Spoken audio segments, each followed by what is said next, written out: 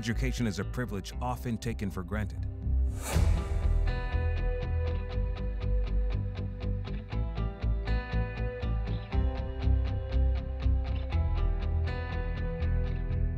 While its fruits are celebrated, its bitter struggles are often overlooked.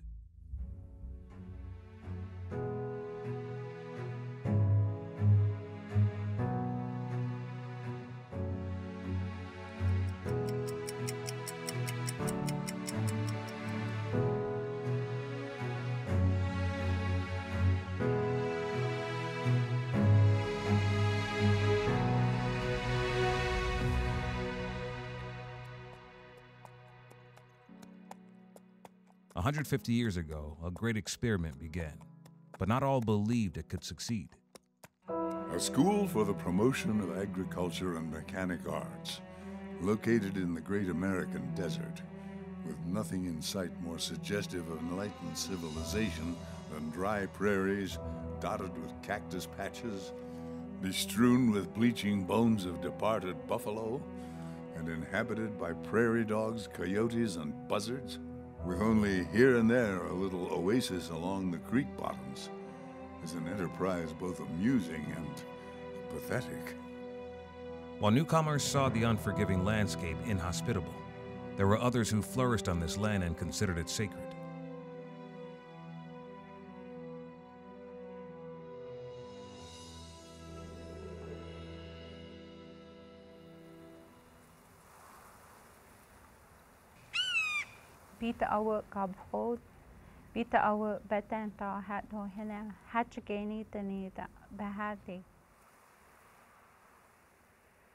Before this land was given to anybody, it was our ancestral home.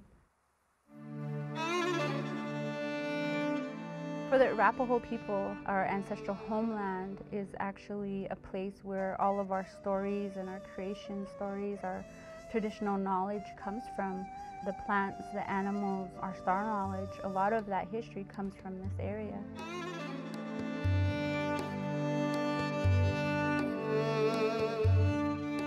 We have a variety of folks coming through here in the last 500 years or so. Athabascan populations like the Apache and Navajo or Dene peoples, Comanches, Kiowas, uh, and then beginning in the 19th century, other groups like the Cheyenne and the Arapaho, as well as Lakota peoples. Uh, coming across the mountains from the west are various bands of the Ute. But as time goes on, as we get closer to the present, uh, we have a whole variety of groups that come through this area because this really is the crossroads of the continent.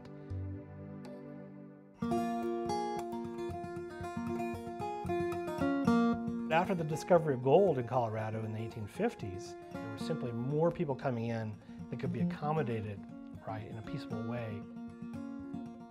And they're moving into this country that's now being occupied by the Cheyenne and Arapaho. And so conflicts started to emerge.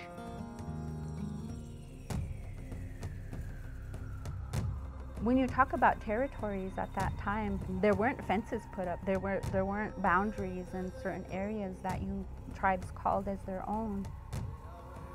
Land was very important to them because it provided all their sustenance as well as their spirituality.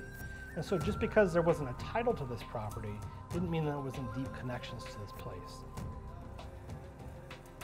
It was exactly what my great grandma had said. Once people knew that there was gold here, the exploration of gold took the land out of our hands. Uh, here in Fort Collins, though, we had the Northern Arapaho, who, led by Chief Friday, who wanted to establish their own reservation right here along the Poudre River.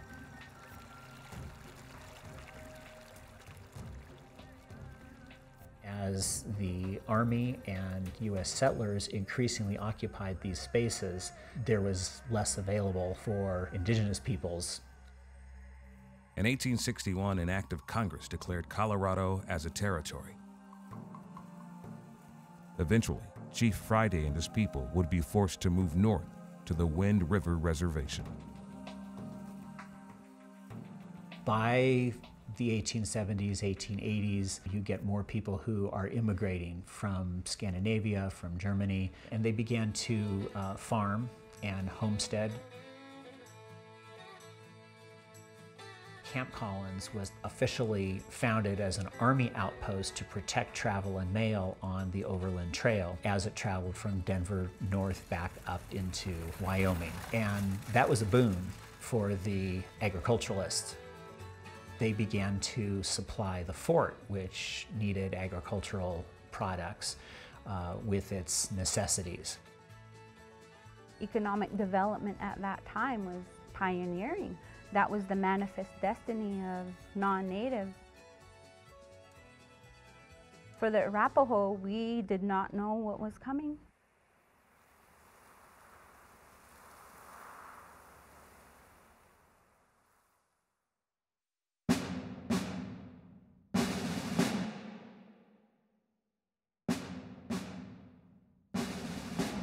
1861, as the Civil War raged and the turmoil erupted in the United States, a group of congressmen focused on an ingenious plan.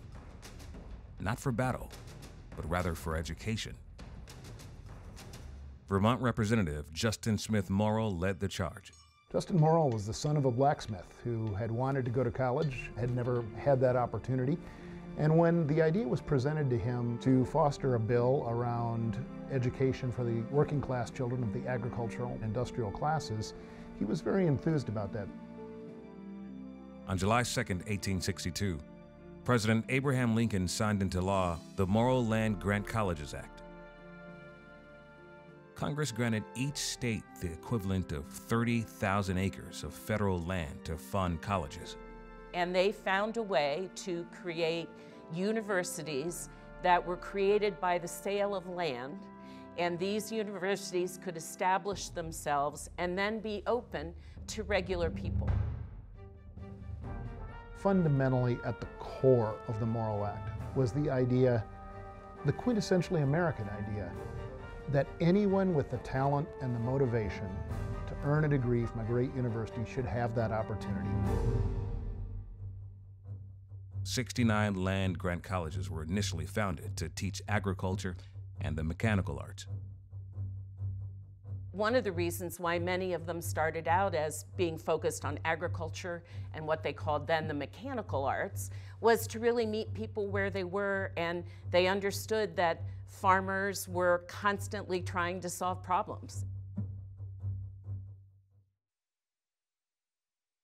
While the North and South were being torn in half by war, the outpost of Camp Collins in the west was under siege from a different threat. In 1st of June, 1864, what Ansel Watrous called a great body of water came down from the mountains. The Poudre River overflowed. The camp was inundated. Nobody died, but some of the soldiers just barely escaped with their lives. So it was declared that they needed a new location on higher ground. So they chose the higher ground, which became Fort Collins, and nobody quite knows why we went from camp to fort, except it just sounded a little more distinguished. In 1865, the Civil War ended and the southern states returned to the Union. Well, not surprisingly, uh, the end of the war didn't eliminate racial tensions within America. We're still dealing and struggling with those to this very day. But at that particular point in time, there were concerns that the southern states would still find ways um, to racially segregate and to not permit access. So the Second Morrill Act brought in 19 historically black colleges and universities, tied those into the land grant system, and provided, um, even if everything else failed, a direct open door for African American students to attend uh, land grant college. The other thing that happens is that the Union focused on uh, defeating the Confederacy during the, the Civil War, developed a large scale, uh, very efficient fighting machine. So all of that was turned on the Western Plains tribes in the aftermath of the Civil War. Strategically, weapon-wise, they out outdid us. In 1870, we were slowly finally getting pushed out of Colorado and Fort Collins.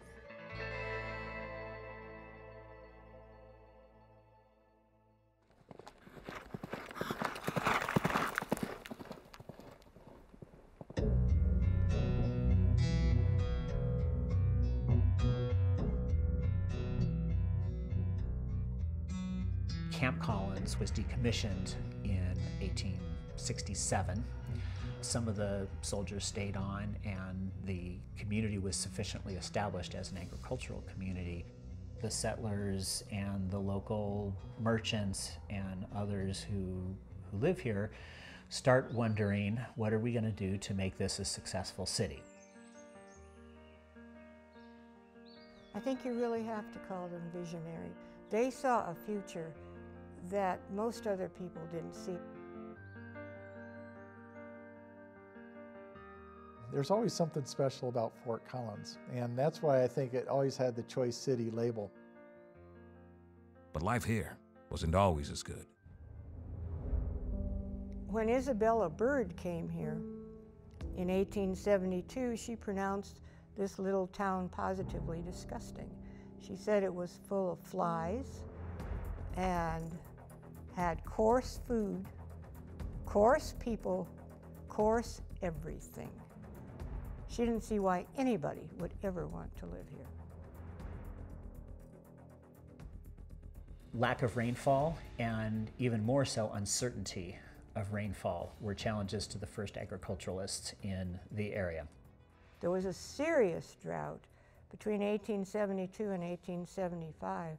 That's part of what the agricultural colleges were for, to help figure out better ways to deal with agricultural mishaps, agricultural catastrophes. Nobody knew much about anything like irrigation or dealing with infestations.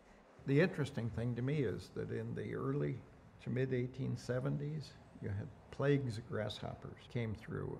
It was so bad that people would hang clothes out on clotheslines and the grasshoppers would eat them. People got very discouraged. The earliest newspaper, the Express, said the population was 600. The next year it was 400.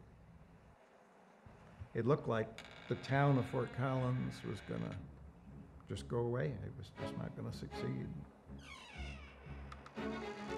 if Fort Collins was to survive, the land grant college needed to come here.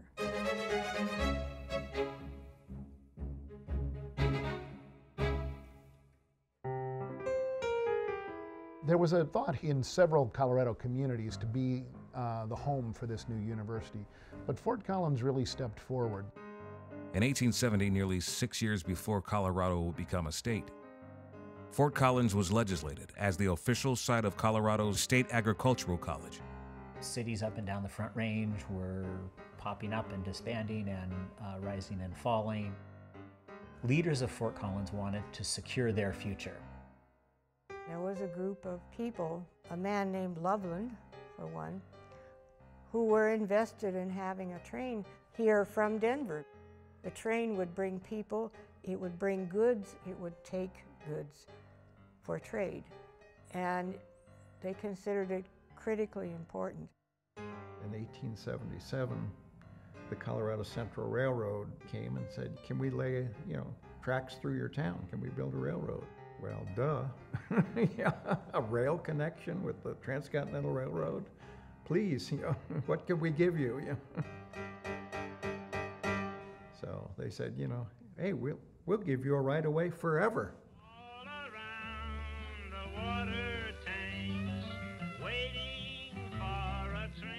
As fate would have it, William F. Watrous now led Colorado's first Board of Agriculture, a board of local farmers dedicated to building the college.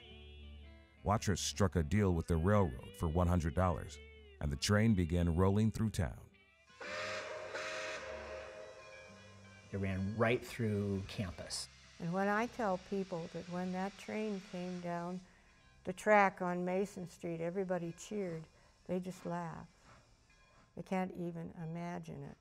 Today we get stopped and swear that long trains coming through, and so when people say, well, why don't we just move it out east of town or move it somewhere else? You know, the railroad doesn't have to move it. You know, they've got the right of way forever. You know, historically, it was it was the town savior actually.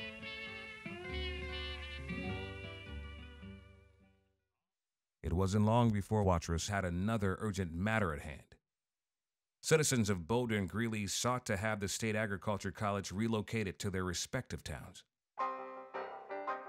Overnight, a wagon and oxen delivered quarried stones from the foothills. The members of the Grange plowed the land and built the first claim building.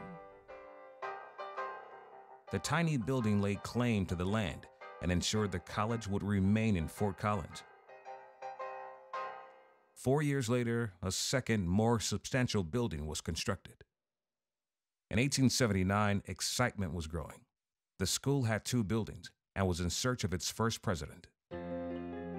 They found at McKendree College in Illinois uh, Elijah Edwards. Elijah Edwards was here because they didn't know what else to look for in terms of a first president. He was a Civil War chaplain and a man of vast experience and faith, but he was about to face a host of challenges for which he was not fully equipped.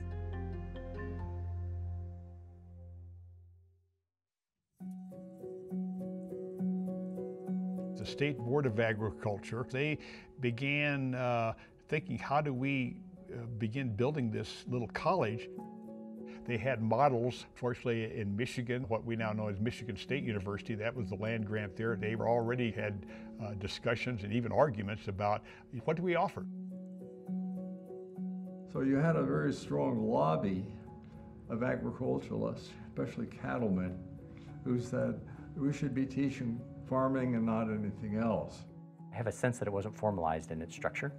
Uh, and maybe the best practices that we see in boards today weren't exactly followed by that state agricultural board. On the other hand, President Edwards believed the college should provide a broader and more diverse education. The differing philosophies would be a defining struggle for the school. It was very shortly thereafter they hired two more gentlemen uh, to make to round out the faculty of, of three to greet the very first students that were to start college on the 1st of September of 1879. Elijah Edwards' two daughters were both enrolled along with a handful of other students. But that handful grew to 10 and then 15 and 20 as, as people uh, realized the college was operating and began sending their kids in. Women going to college was a whole new concept that very few people knew how to deal with. There were maybe a, a dozen colleges in the whole country that admitted women. And now here came these land grant colleges. Women could go. With changing times came a change in the name of the college. In 1880, the State Agricultural College became Colorado Agricultural College.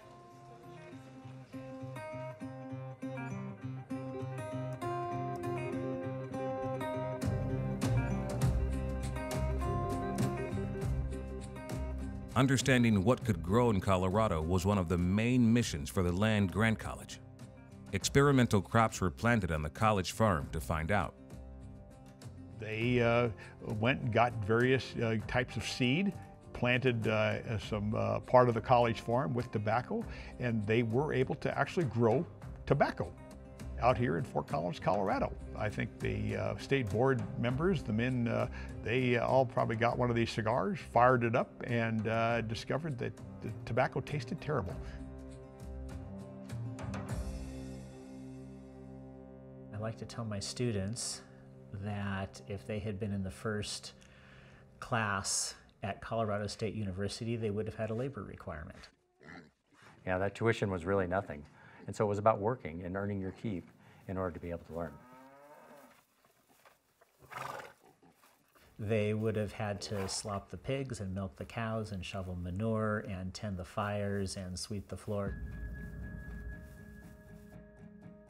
Besides labor, the university required money. Hay and crops were sowed from the college farm to fund agricultural research.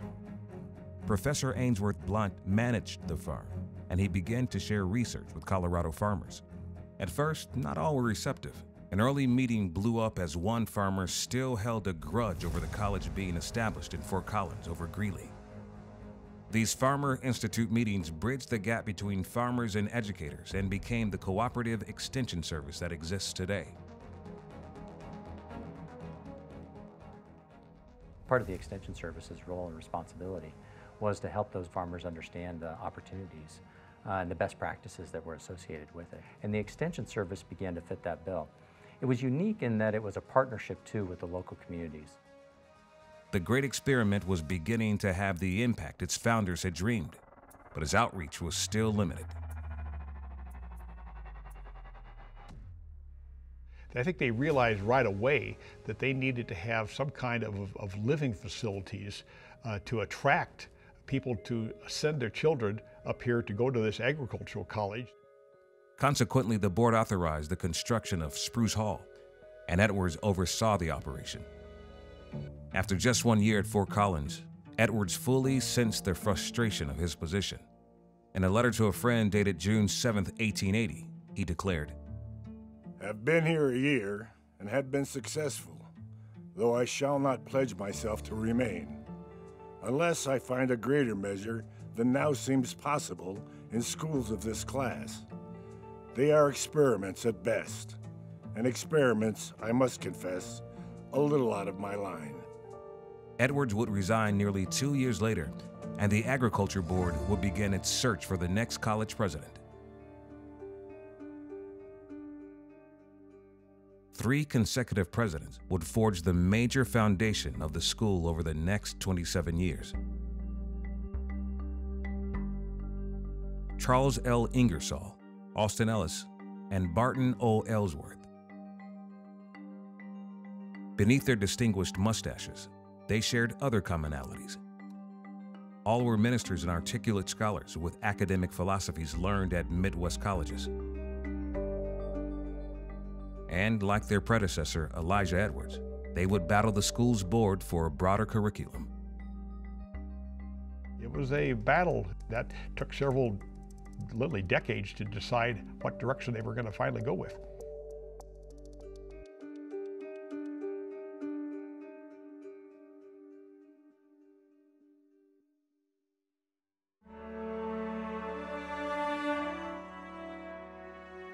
George Glover, Libby Coy, and Leonidas Loomis were three local kids that managed to complete their studies by the spring of 1884. They became the first graduating class and formed the Alumni Association. Land grant universities became not only places of incredible education, but also focused on how to solve challenges. They say whiskey's for drinking, water's for fighting.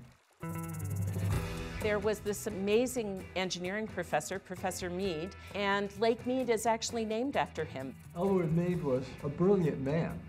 He saw an opportunity to develop not only irrigation facilities, but a whole concept of irrigation law. Known as the engineer who made the desert bloom, Mead pioneered water management in the West.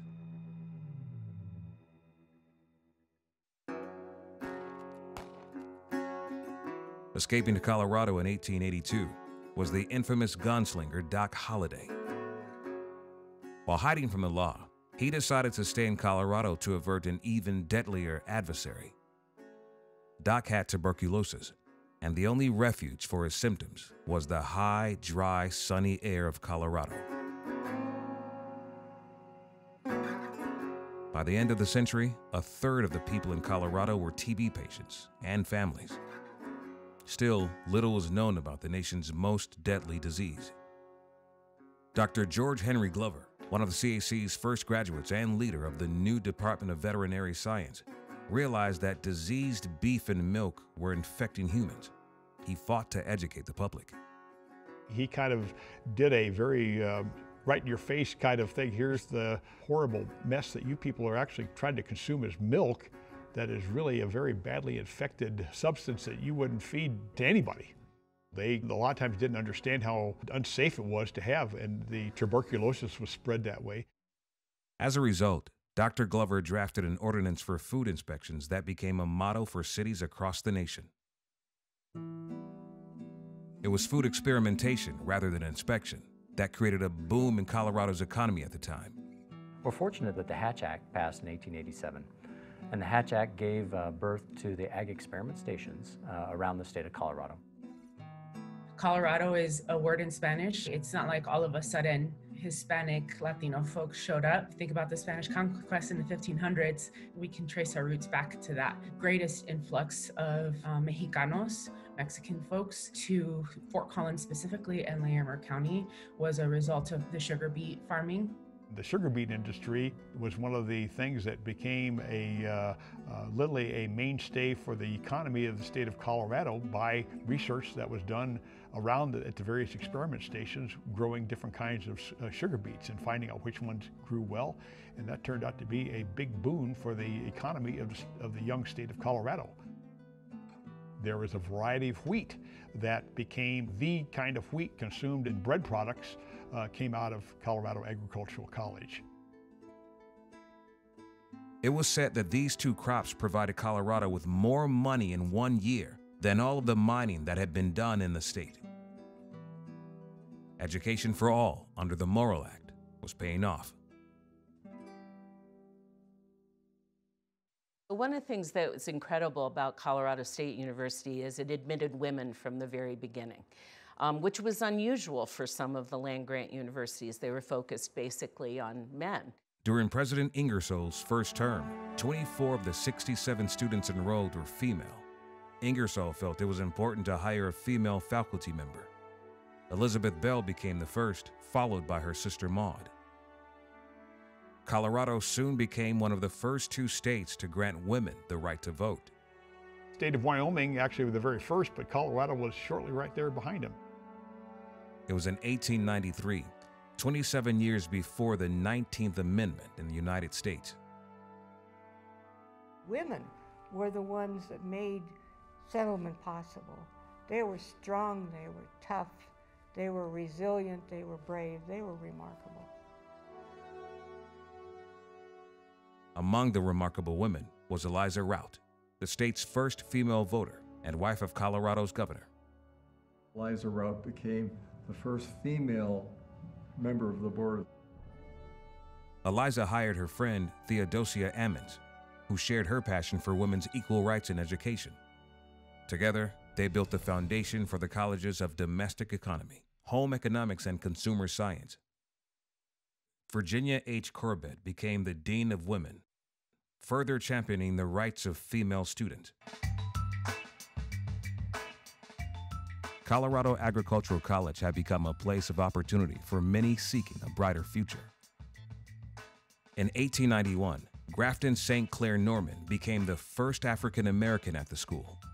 He enrolled right after the third president uh, came and was hired, who was Alston Ellis. Alston Ellis was an educator from uh, Hamilton, Ohio. And it just so happened that Grafton was also from Hamilton, Ohio. He was the quartermaster in the military uh, department uh, in the, the Corps of Cadets, which was a fairly high rank to hold. He actually graduated and went on to become a mathematics uh, professor at, at a college level. While history was being made, the Collegian newspaper began publishing. One article described the student's first encounter with running water.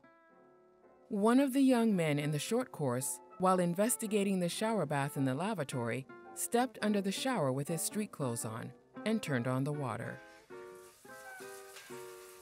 Imagine the result. Modern utilities and buildings were transforming the campus at the turn of the century. The college now had 345 students and 33 faculty. A sense of community and spirit was growing. By 1892, military training as part of the land grant tradition had been well established on campus. As students mastered military drills, they sought new ways to test their physical strength and discipline. The students uh, got together and they said, we want to have uh, athletics. Athletics grew, but the school's newly appointed president, Alston Ellis, was not a fan. He thought they should be uh, more interested in uh, military or into other types of activities on the college farm. But the students really wanted to play football.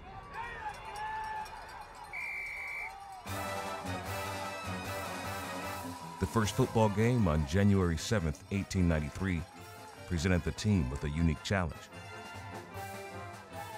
The boys went down to Longmont to play uh, Longmont Academy in a, what was considered the very first football game, and they needed some way of identifying themselves. They didn't have uniforms, so they stopped in a drugstore and they happened to have some green ribbon and some orange ribbon. They bought enough of it to each pin on their shirts those two uh, colors of ribbons. That's where the uh, colors of green and gold or green and orange uh, happen.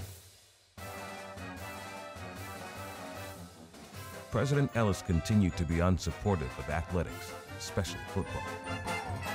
After he departed, they brought in Barton Aylesworth. And Dr. Aylesworth was very much opposite in a mindset.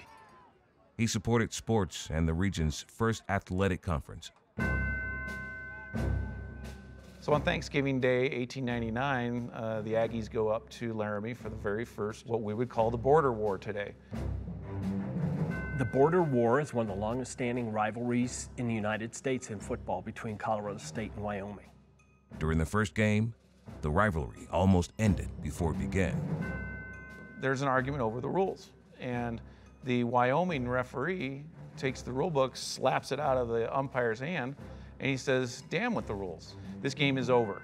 The Colorado Aggies vowed to never play Wyoming again, but they did one year later, and this time their coach George Toomey would play in the game. And Toomey was a very good uh, athlete. So he was not only a coach, but he was a player. Well, Wyoming didn't like the fact that our coach was playing. So they would not only tackle him, but they would pile on top of him and punch him and kick him. And, and they literally broke his uh, collarbone and, and took him out of the game. The Aggies arose victorious, and a bitter rivalry began. Under President Aylesworth, athletics continued to excel, and Durkee Athletic Field was built. They played not just football there, but they had the track and they had the baseball all on that one spot. Taking to the field was Alfred Johnson, the first African American athlete in Colorado Agricultural College history. University of Denver saw that uh, Alfred Johnson was going to play against him, and they said, nope, we're not going to play him. We, we, don't play against black players. And it caused a real problem within the, uh, the entire Rocky Mountain region. Perhaps the most celebrated team of the era was the women's basketball team, who in 1903 brought home the school's first championship in collegiate athletic competition.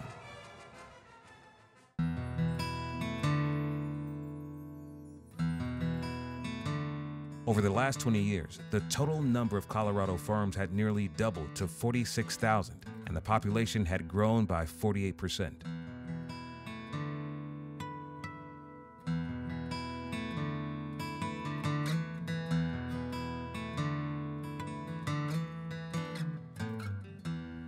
How in the world did those people hang on and survive? I think they're amazing. I think they're admirable. And I think that's my favorite part about the history.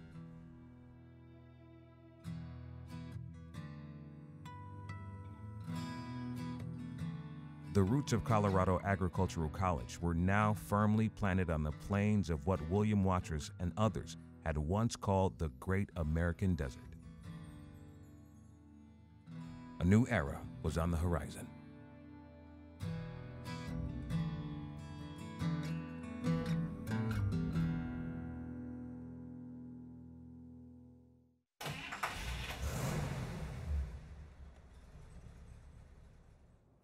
The oval first took shape in 1910 as part of a nationwide experiment.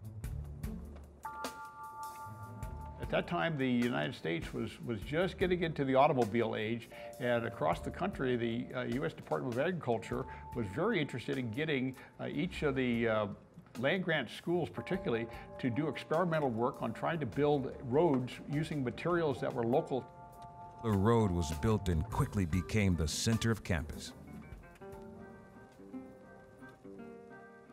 Kind of had a romance about it just because of the uh, beauty and uh, the, the, shade of those uh, big old trees and the whole ambiance of the place. We have trees on the oval that were planted in 1881. The uh, elms were probably the size of this glass, the trunk, you know. Now they're a huge thing.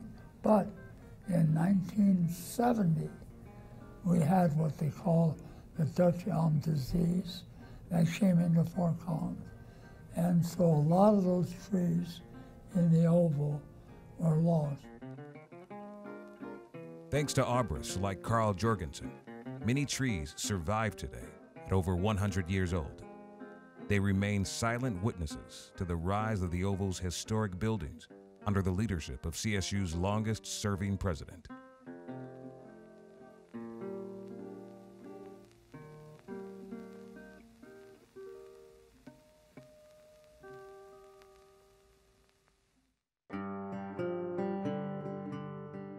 Lory was here for 31 years, going from 1909 to uh, 1940. As a farmer and educated physicist, he promoted both hands-on learning and classical academics. It is an old but true saying, he once asserted, that there is much culture in a beetroot as in a Greek root. Lory's philosophy and down-to-earth persona won the trust of the Board of Agriculture and he became the first president to expand education into liberal arts and beyond. Growth, however, was not without struggle. We had different you know, waterborne diseases that uh, hit the campus, particularly during the late 1800s and very early 1900s. Typhoid was so severe, parents became wary of sending their children to Colorado State College. A man carrying a cistern supplied water to students. He had one tin cup, which all students shared.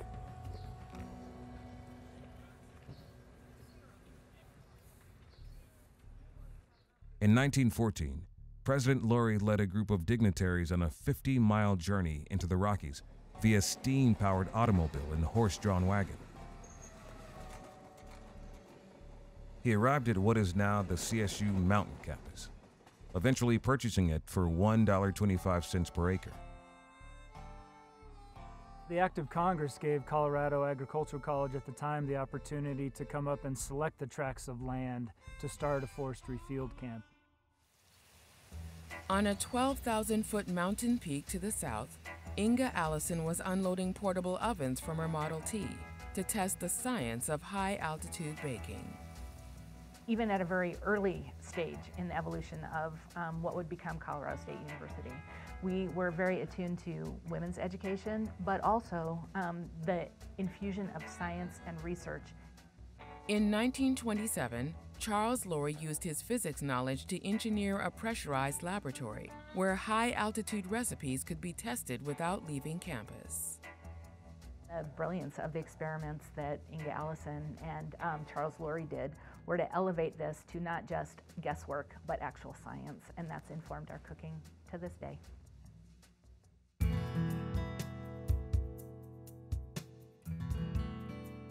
Ralph Parshall ran the first hydraulics lab at the college and was searching for a solution to another pressing problem. A semi-arid environment, a very dry environment that we have in Colorado, uh, we had to find a way to be able to allocate water um, so that we wouldn't have disputes that would take place. The invention of the Parshall flume in 1914 provided an accurate way to measure water and settle disputes.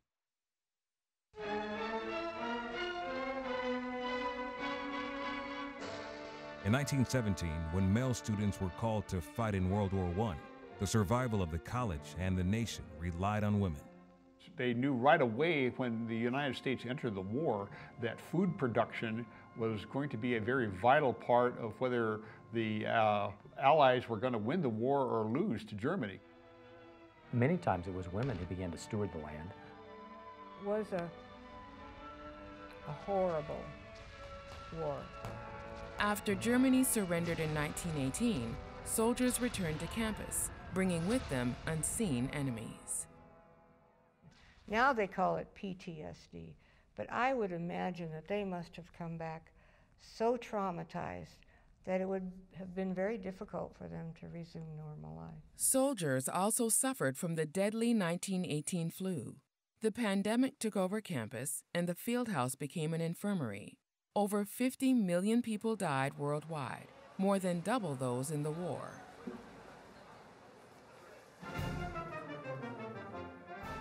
The wounds of war began to ease with music and entertainment that came to campus. Ticket prices were a staggering $2. For those with more refined taste, the Army and ROTC provided a new resounding form of entertainment. Kabam, we had a cannon. And uh, that's what we're still using that to this day. Blasting Comatose the Cannon was not the only way Fort Collins celebrated game day victories, however. They made a newsreel film of this 1919 game. We just happened to absolutely annihilate CU in that game, which was great. You had the, the fans walking down College Avenue all in a parade. And then you also see the, the rarest of them all, and that's our, our bear. That was our, uh, um, our mascot in 1919, and only in 1919. A decade of unruly mascots paved the way for the athletic legends to come.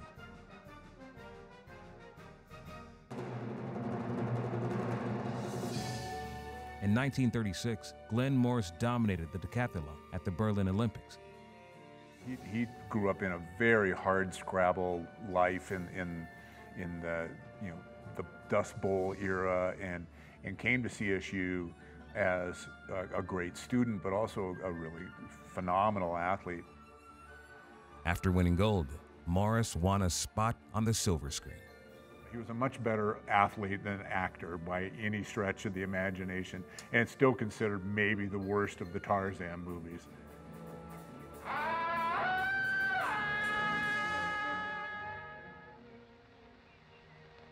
Good. Good. Good.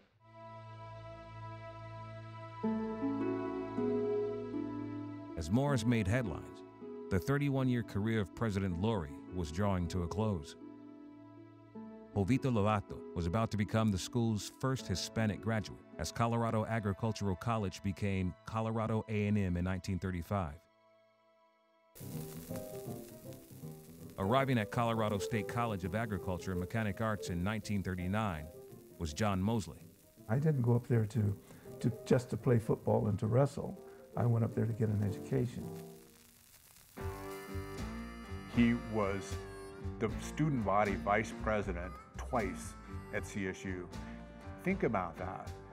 He was one of, I believe, seven African Americans on campus. And at that time, that was anything but an easy thing to be in, on a college campus or in American society. We stuck together. There's five of us that uh, rented a house. They called themselves the Lonesome Boys. We couldn't go into the restaurants. We had to stick together in order to survive. He was very brave to be here. Mosley's friends feared for his safety on the football field and urged him not to play. I hate a quitter. And uh, throughout the football games, I never stopped fighting. Before a game in Salt Lake City, a movie theater attempted to have him outcast. Mosley goes up to Harry Hughes and he says, um, uh, Coach, I'm going to go up to the balcony. They won't let me sit with the team uh, because I'm black. Hughes got up and he said, All right, Aggies, we're all leaving. Uh, they don't uh, want uh, Mosley to sit with us. And so he got up and he left. There must be equality, there must be fairness. To accomplish that, you have to be honest. On the 7th of December, I decided to go up and have my picnic up on the Rock A, which stood for Aggies. And on the way up there on my bicycle with my lunch, somebody came and said, said the Japanese have bombed Pearl Harbor.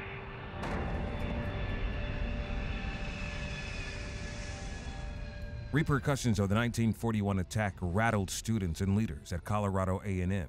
The United States was suddenly entrenched in World War II. I went down and uh, to the Navy officer and tried to enlist. Uh, all the young men who were here actually had to go to the uh, local draft board and register for the draft. I had to fight in order to be able to fight for this country. With an no quit attitude, John Mosley taught himself to fly, then repeatedly wrote letters to Congress to become a Tuskegee Airman. The males were drawn out of our college to go into the service. The Females became the majority. It really moved beyond just the, the traditional home economics uh, type of role. The student population dropped by half to 700, and Roy M. Green, the college's new president, worked nonstop to keep the campus running. He uh, uh, made the contacts with the, uh, the Department of Defense or the War Department and offered the services of the college and the classrooms and the teachers to do training for active duty Army personnel. The campus began to look more like a military base than a college. Every Wednesday, we had military drills.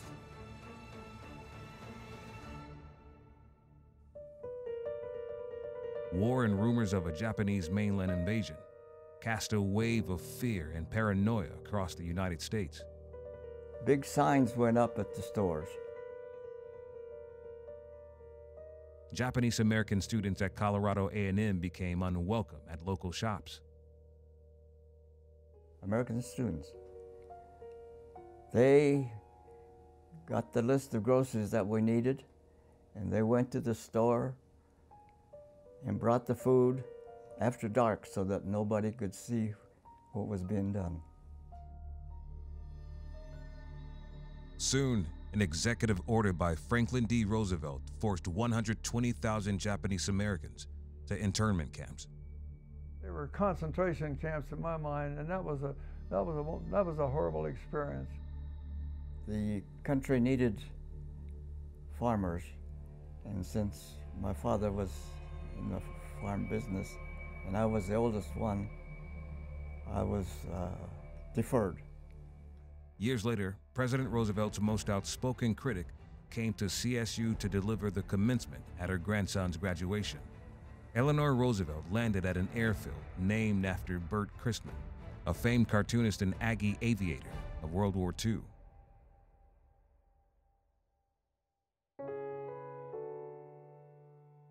The war ended in 1945, and Congress rewarded soldiers for their service, setting aside funds for education. When the men came back, uh, there was a huge increase in the interest in, in college again because of the GI Bill. 190 Quonset huts housed an influx of new students. The campus and town were changing once again. My parents used to call Fort Collins a, a town of broad streets and narrow minds. It was very conservative. When the veterans came back, they were worldly. They just completely opened up the culture of Fort Collins. Returning to society was not easy for all veterans of World War II. Many were physically and mentally wounded. One of the, the outcomes of um, men coming back from war was the evolution of fields like occupation therapy. Really, they were focusing on going to school as part of a rehab program.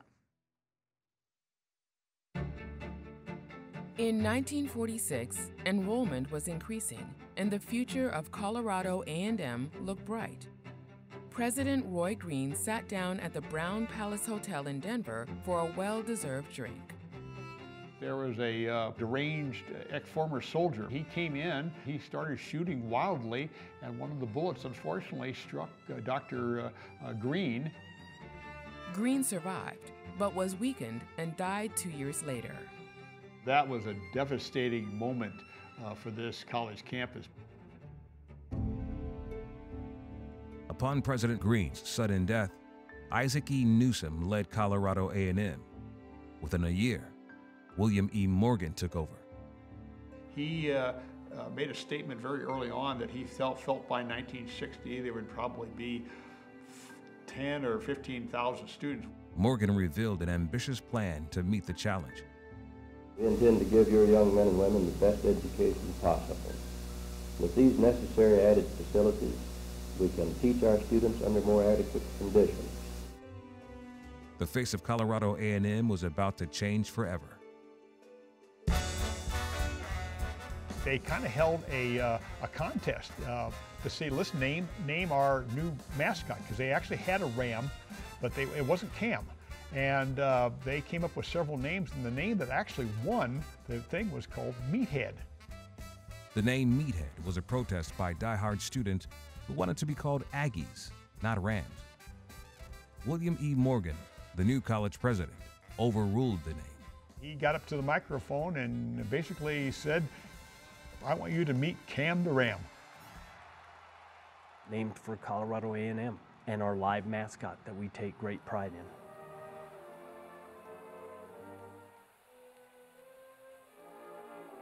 Aggie tradition turned to Ram Pride on May 1st, 1957, when Colorado A&M officially became Colorado State University.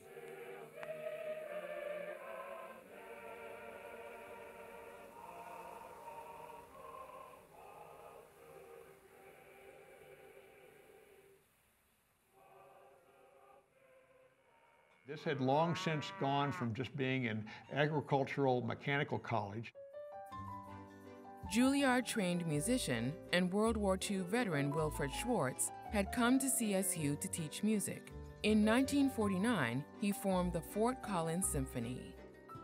Willard Eddy taught liberal arts, philosophy, and English to a generation about to experience one of the most turbulent times in history. We can experience things, but if we cannot communicate those, they're lost. And so I think that's what a liberal arts education does. It prepares you to be a good citizen and a good human being and a knowledgeable human being. With the rise in education came the rise of campus. Morgan's plan continued to unfold. He didn't want to be known for the, the president that built all the buildings, but you look at how many structures went up during the Morgan era, uh, not just your athletic facilities, but the library, the Clark building, all the dormitories, everything else that, that, that sprouted up along this campus were the result of uh, William Morgan.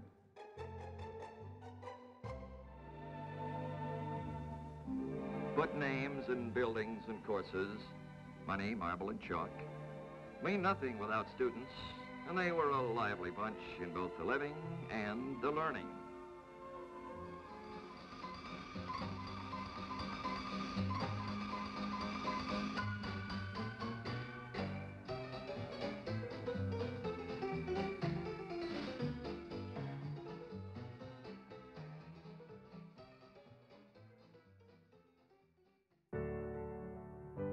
Such an emphasis already in the domestic economy and thinking about different careers for women and elevating women in science.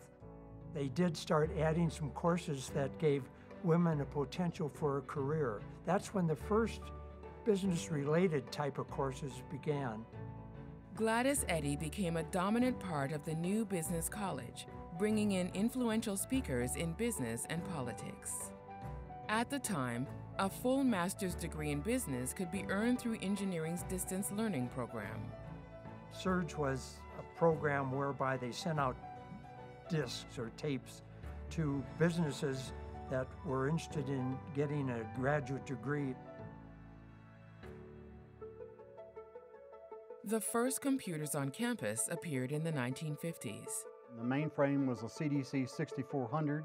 That was in a secure area. We were not allowed back in there. Paper punch cards were used to program the machine. You get one card wrong and it spits it out, and you have to go back to the card a punch and, and, and do some more cards. And or if you dropped them, it was uh, it was hopeless. So you had to kind of start all over. There's more power in your iPhone or my iPhone than there was in probably that CDC 6400.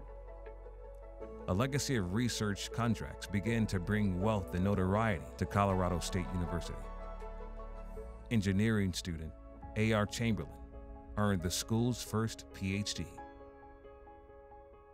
Jack Cermak, who was professor at that time at CSU and, and built that very first boundary layer wind tunnel in the United States, uh, was asked to do a uh, wind load study. So the original wind tunnel testing for the Twin Towers in New York was done at Colorado State. And it's really the start of wind engineering of tall buildings globally. Jack Cermak, John Peterka, Bob Meroney, uh, Bogusz Bienkiewicz, these, these guys, you know, you had a whole department of wind engineers. The technology that was developed at CSU, the thinking, the engineering approaches, they're still the same ones we're using today. In 1957, the Soviet launch of the world's first satellite fueled U.S. scientific and engineering research. Money poured into CSU, helping build Colorado State University's Foothill Research Campus. As the atomic age fueled science and world tension, CSU's Research Foundation promoted a mission for world peace. In 1961, the Peace Corps was established from a feasibility study done by Andrew Rice, Pauline Birky Kreutzer, and Maurice Albertson.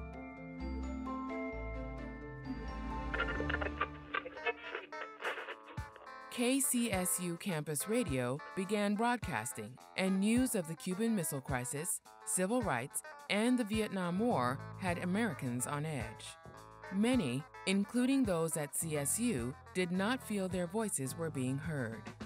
They were demanding a lot of different things, and one of them was the freedom to have beer in the student center.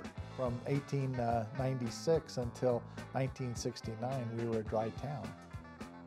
The Association of Students of Colorado State organized a protest. Let's bring the beer onto campus and drink it in public and uh, uh, show the administrators that uh, we're, we're serious. The beer-in worked.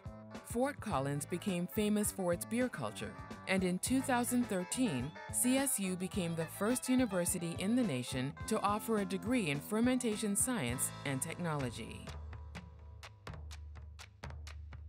Protests for more important change grew louder. Women, the disabled, and people of color demanded social justice. Well, they were angry because the university did not, did not represent the demographics of the state. Ray, well, we're gonna get some students in here, so we wanna know. Are you gonna bring them in? Are you, are you gonna bring them in? Fall Quarter 1969. We're gonna get some students in here. 400 blacks and 400 Chicanos. I, I have tried to explain to you that there just can't be a wand waving by some administrator or even a board. Black students are, are, are not shy about speaking up for their needs and their respect. There's a place here because we've made it a place here across the country, specifically during that time, is when many cultural centers were being created on college campuses. Always been out of advocacy from students, students coming forward saying, This is what we want, um, this is what we need, and we continue to see much of that today. After 20 years, William Morgan realized that the university had grown beyond his wildest dreams. He had a tough time with the way that the, the college was changing during the Vietnam War.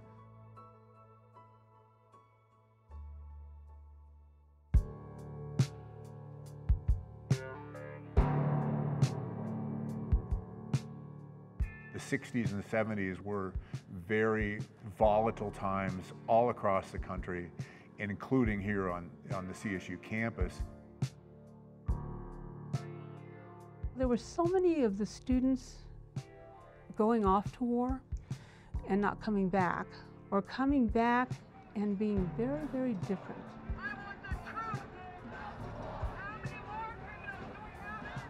On May 8, 1970, students rallied to protest the Vietnam War.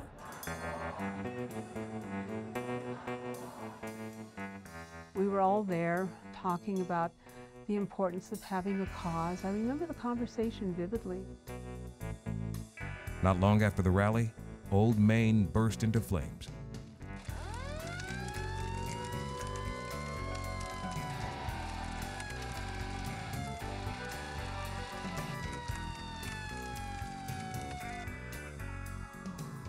It seemed that the whole of Fort Collins was on fire.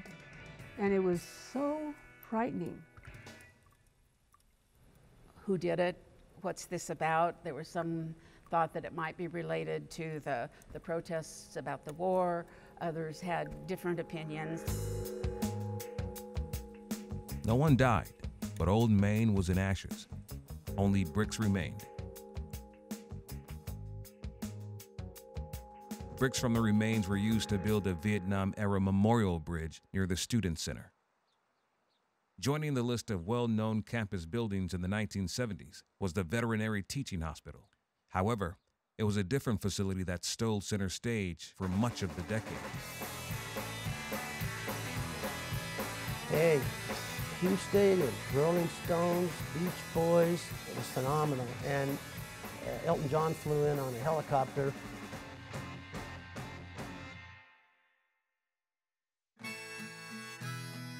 1976, Bob Dylan recorded his live album Hard Rain at Hughes Stadium. As decades passed, a long list of other artists came to campus. Uh, in the early 80s, we started starting to see uh, computers appear on faculty's desks. Sometimes you would sit before a keyboard and people would literally shake because I'm afraid I'm going to break something. I remember talking to the chief financial officer at the institution at the time, and his attitude was, oh, there's just no way that the, anybody needs computers on their desks, you know? This should not be a university expense. This is a luxury. And, and that was just insane thinking. The instructional services team kept them running. Classes would start at 8, and the phone would start ringing about 10 till 8. People having problems in classrooms. CSU classrooms became the first in Colorado to have high definition displays, yet old school ways persisted. We've still got people who will show up with analog, and uh, there's still people that want to use an overhead projector too. So that's, that's it's a transition that's it's still going on. Today, Colorado State University online is roughly a $40 million operation. We're an information society today. You can go online, you can study, you can get a certificate, you can get a degree.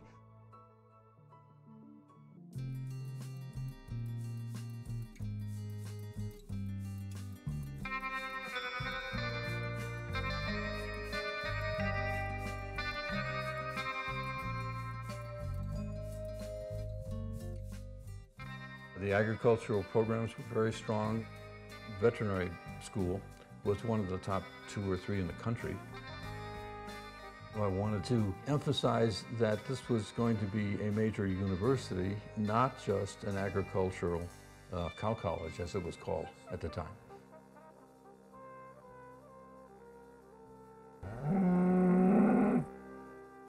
A well-known art collector named John Powers helped the university bring in legendary artists.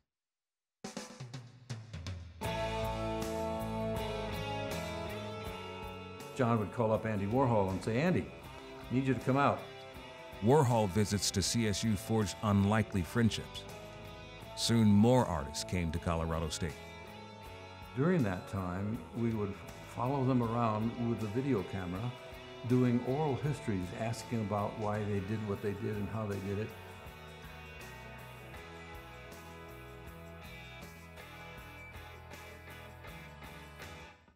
But I tell everybody not to go into painting because I don't, nobody wants it anymore, I don't think. It's more creative uh, in, in video now to be more experimental and, and do art pieces.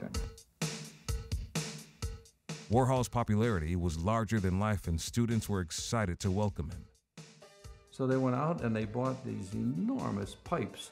Andy showed up, and there were three huge soup cans sitting in the front yard, and he loved them and he signed them.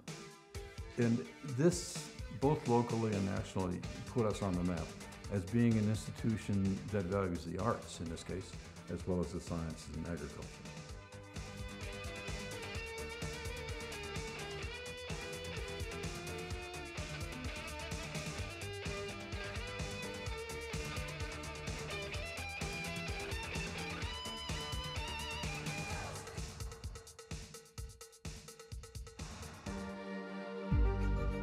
1969 and 2019, the dedication and foresight of six presidents built Colorado State University into a world-class institution.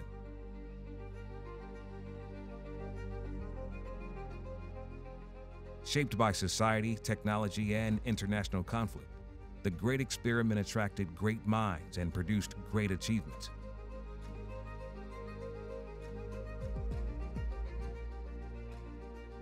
The legacy of CSU astronauts advanced space exploration.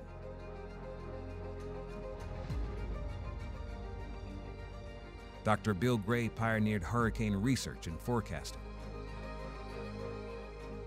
In 1991, CSU professor Thomas Sutherland returned home, having been captured by terrorists in Beirut, tortured, and held hostage for six years.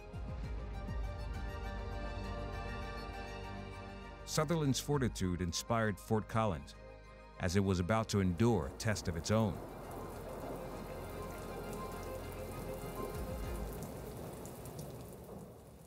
On the night of July 28, 1997, a flash flood tore through the center of campus, just weeks before students were scheduled to begin class. In a race to repair more than 40 buildings, CSU's 12th president, Al Yates, led a massive recovery effort. That event served to create, to build, to enhance community within the institution. Included in $140 million of flood repairs came many meaningful improvements for disabled access. At Colorado State University, we must make an institutional commitment to creating and to providing opportunity.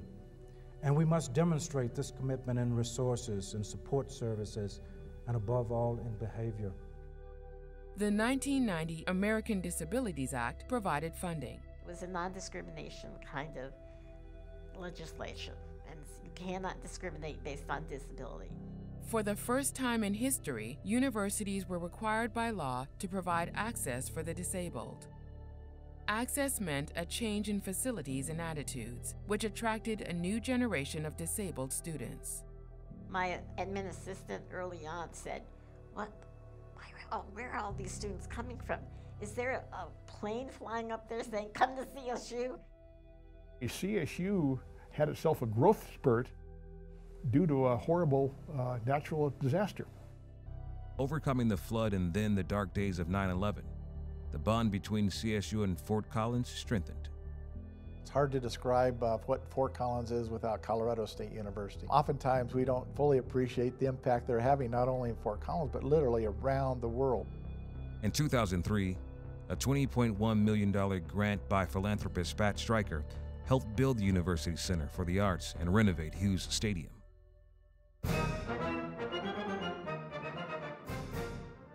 After Harry Hughes won the school's first conference championship in 1950, college football changed and the nation took notice. Many former Aggie players have gone on to national fame in the professional leagues. Among them Jack Christiansen, Dale Dodrill, Gary Glick, and Fum McGraw. All mastered the game from a legacy of top coaches until 1993. It has a rich history, but for me at the top of that list is Sonny Lubick. We came in as a staff. We did not have a team meeting room. So team meetings were held in the athletic center's boiler room. Hundred kids sitting on the floor, sitting on the floor, no air conditioning, no nothing, and they all had their shirts off. They're sweating. While the team prepared for their 11-game season, the university's interim athletic director wanted to make it 12. I said, well, go ahead, but make sure it's somebody we can beat. And he comes back to me a week later, well, we got our 12th game. I said, yeah, who's that? He said, that is the University of Arizona. Arizona had been picked by Sports Illustrated to win the national championship that year. And I think our kids, oh, they're going to get murdered. this is cruel. CSU went down in, to Arizona and beat them. It was an unbelievable thing to watch. Rams showing blitz. Here they come, and there's a fumble on the play, and Colorado State picks it up. Sean Moran, Moran, he's at the 50, he's at the 40, he's at the 30. Uh, some of the skeptics were saying, well, maybe these guys do know a little bit. And that was really the game that put CSU football back on the map and made Sonny, brought Sonny into the limelight. CSU had not won a conference title in 40 years. By 2007, they had won six, with 20 players joining the NFL. But what Sonny had accomplished went far beyond football. He changed the dynamic of this institution. He's just a compassionate, helpful individual. And uh, I think that's why his teams, they would run through the wall, so to speak, for him. When I was growing up, I really didn't have um, too many you know, female role models. And uh, it's good to see all the kids coming out here knowing that they can talk to us and uh, learn from us if they want. And then even seeing the little boys come out asking for our autographs, that just shows the development of women's basketball. Basketball was invented in 1891 as a game for women. But we know how much effort and how much time it takes to be an athlete here at uh, Colorado State. Becky Hammon put CSU women's basketball on the map uh, as an All-American in the late 1990s. So I'm, the, I'm probably the smallest person out there most of the time. When it's out on the court, it's an all-out battle, and uh, you forget about everything else, and you go out there and, and you play your guts out. After playing professionally as one of the greatest players in WNBA history, she became the first female assistant coach in the NBA with the San Antonio Spurs. Her head coach, Gregg Popovich, which is someone that, that bears great credibility and respect, says she'll be a head coach in the NBA soon. And I think she reflects kind of the Ram can do attitude. Women's athletics has a history of unstoppable legends. Tom Hilbert his outstanding coaching ability. Um, I remember when we beat Nebraska here, they were the number one ranked team in, uh, in volleyball. We came back and won three straight and beat them at home. Unbelievable. 8,000 people rushed in. It was just a phenomenal thing. Track and field champions like Lillian Green, Barb Lawson, and Olympic gold medalist Janay DeLoach. I'm with Amy Van Dyken, who has just become the first woman in the history of the United States to win four gold medals in the same Olympics. Were you aware of that? No, I didn't know anything about it. Um, my coach had mentioned something, and I knew that three was getting close because people were talking about it, but um, I'm excited. That's really awesome. You're, you're not great forever. You just, it doesn't go that way. And if it did go that way, it wouldn't, it'd be too easy. Sonny's days as a coach have ended, but his name remains part of CSU's new on-campus stadium. When the stadium was built in 2017, the university received a shocking donation. The director of the Alumni Association got a phone call from her husband saying, uh, you're not going to believe this, but there's a bell in our driveway. It turns out that back in the early days of CSU, um, 1920 or so, a bunch of fraternity boys decided that it would be a fun thing to steal the bell out of the old main bell tower. The boys ended up burying the bell in a farm, and in a twist of fate, saved it from burning in 1970. It had been buried for more than 40 years and all but forgotten. It now hangs in the bell tower outside the stadium, ringing in memory of the school's past and sounding its hopes for the future. $1.5 billion of improvements at Colorado State were made by folks that will never realize the benefits of those decisions. We really have rebuilt the campus in a way that I think will serve generations uh, of Rams to come. We have uh, places of uh, reflection, we have places of activity where the great view to the mountains is revealed. These are spaces of realization.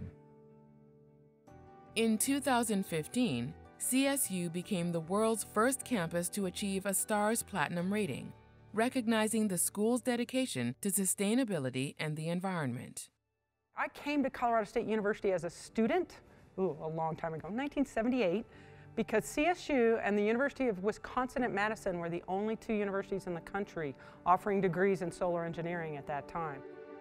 Today, a massive 30 acre solar array at the former Christman Airfield helps power Colorado State's campus.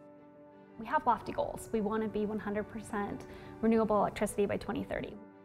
It's not just about reducing carbon, it's about being, doing that in a socially just way. One third of nearly 3,000 classes offered are sustainability related. Courses range from U.S. energy policy to immersive learning at the CSU Mountain Campus. What the Mountain Campus offers is one of the best living learning laboratories we could offer our students. We have had that resource for over 100 years now to instruct our students on natural resource management and issues. All of the old uh, buildings, they were built by the students themselves over time. Previous generations had at the core the same desires as our 21st century students. The desires to, to have immersive experiences are, I think, as strong as, as they were back then.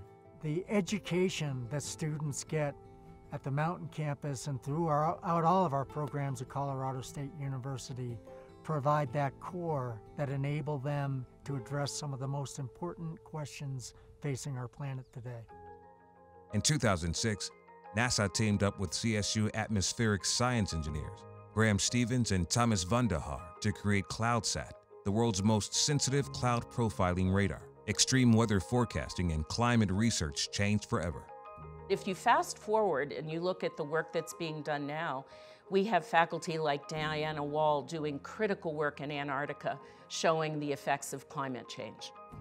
In my lifetime, there may be an erosion of the trust that public policy has in science. And so there's a compelling need to build that on the part of the land grant university. Modern discoveries are being built on the past work of countless dedicated researchers at Colorado State, from George Glover in the 1870s to modern infectious diseases experts Ian Orme and Patrick Brennan. CSU has built the largest tuberculosis research team in the United States. Cancer treatments for animals and humans are being found at the world's largest animal cancer center, pioneered by Steve Withrow. Researcher Wayne McIlwraith founded Colorado State University's Orthopedic Research Center, innovating groundbreaking medicine for both horses and humans. And methods to build disease fighting compounds through synthetic organic chemistry were revolutionized by John Stille and Al Meyers. In 2009, Japan's emperor presented John Matsushima the emperor's citation for promoting quality beef in Japan, for pioneering steam flaking of corn, and for teaching some 10,000 animal science students at three universities. If there's somebody who's more iconic in, uh, in a brand for what Colorado State University is around innovative thinking, innovative minds, it's Temple Grandin. There's something about her, I think, that's different. Autistics tend to be visual thinkers. I think totally in pictures. By visualizing what a cow might see, one of Temple Grandin's innovations incorporates curve chutes to calm cattle as they approach slaughter. The stairway to heaven. Thing is, is they don't know. It's just another chute. CSU needed an environmental philosopher, and I became that philosopher. And here was this canoe freak, tree hugger philosopher saying that these wild things have intrinsic value. Years later, Holmes Rolston was awarded the Templeton Prize by Prince Philip and forever crowned the father of environmental ethics. While research has the ability to define the future, it sometimes has the power to heal the past. If you kind of understand the history of what happened to the bison in this country, it's very similar to the history of what happened to Native people. 150 years ago, bison were facing extinction. Mass killing of bison was directly because the government knew that it would impact tribal communities. Today, healthy herds are being rebuilt using assisted reproductive technologies developed by George Seidel and others at CSU. CSU is known for this in a general sense, uh, taking things from the laboratory and making them work in the field. The Yellowstone herd is an excellent herd for doing uh, restoration or starting new herds from, and the only problem is that it is infected with brucellosis. A lot of times mothers who have brucellosis can have sickly or weak calves that don't often survive. Our goal is to use assisted reproductive techniques such as artificial insemination and embryo transfer to be able to generate offspring that do not have brucellosis but that have the valuable genetics that we want. It's just nice that we can kind of pick up that story and begin to establish some public herds and tribal herds again. In 2015, CSU released its first healthy bison herd at Soapstone Prairie north of Fort Collins. We were able to invite up um, some elders of tribes that have been in this part of the country for well before it was even the United States. Heard the first hoof prints on the ground and we were welcoming back our ancestors. We were welcoming them home. Recognizing and realizing that this land belonged to indigenous people is really important. We are still part of this community. We are still stewards of this land. We care deeply about it. In 2017, CSU released a statement officially recognizing this importance. The goal of the land acknowledgement provides an opportunity for both Indigenous folks and non-Indigenous folks to remember that history, to honor it, to think about it, to be educated on it, and then think about present day, what are we going to do? Every college campus is a small reflection of the larger society. We have had racial incidences, um, bias incidents, especially against our Jewish students and our Muslim students. We have hundreds of people across campus working on diversity issues. We're here to ensure that students have their civil rights protected. I encourage students to continue to advocate for their needs because when they do is is when the institution shifts and moves. At President McConnell's inauguration, there was a protest led by black students saying you need to address these racist incidents. President McConnell was like, what can I do, right? What, what else can we be doing that we haven't done before? And so she then came up with a race bias equity initiative.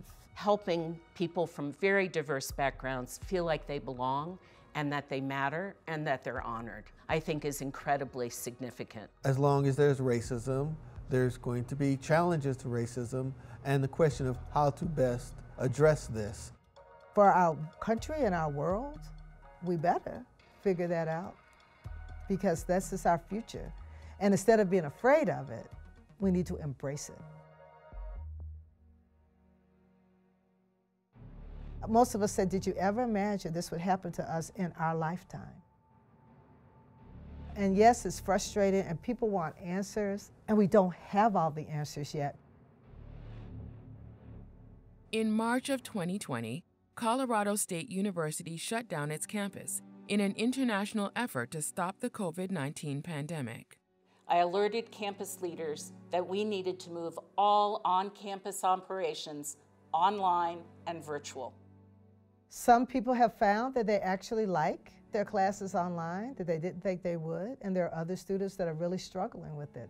We all have to figure out how we take responsibility, keep moving on, and yet be able to do that in a way that saves lives. As COVID 19 brought a shortage of personal protective equipment, Colorado manufacturers reached out to CSU's Department of Design and Merchandising for help they don't know what the material to choose from and how to assess the quality of the product. That's how we are helping here.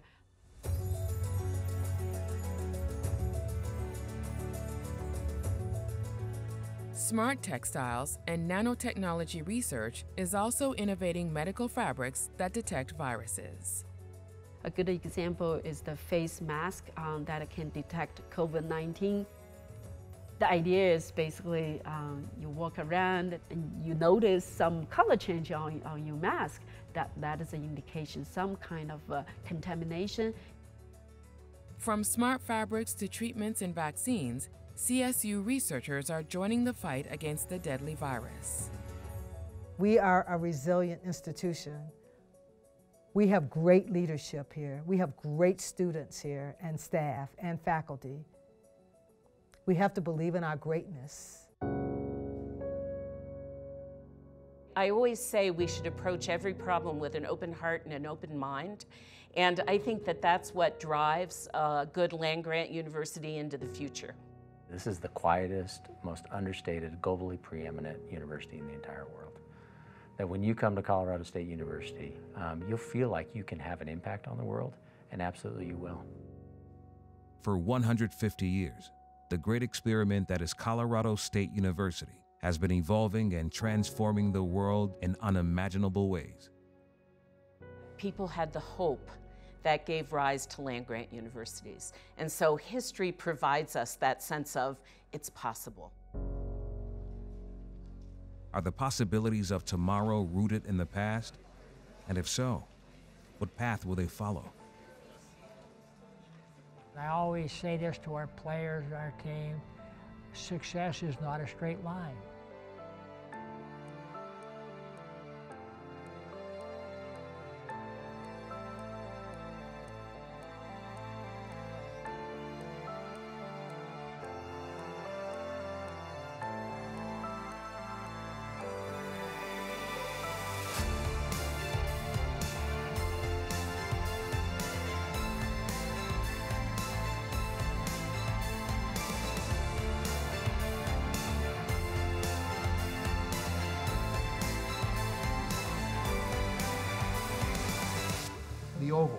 Originally a hayfield.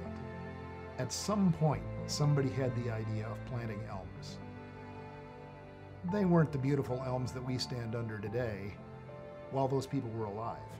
But they planted the seeds and they had the vision for what it could be. And that's what I, I hope we're able to do, but only if we stand on the platform of history that allows us to see clearly the future.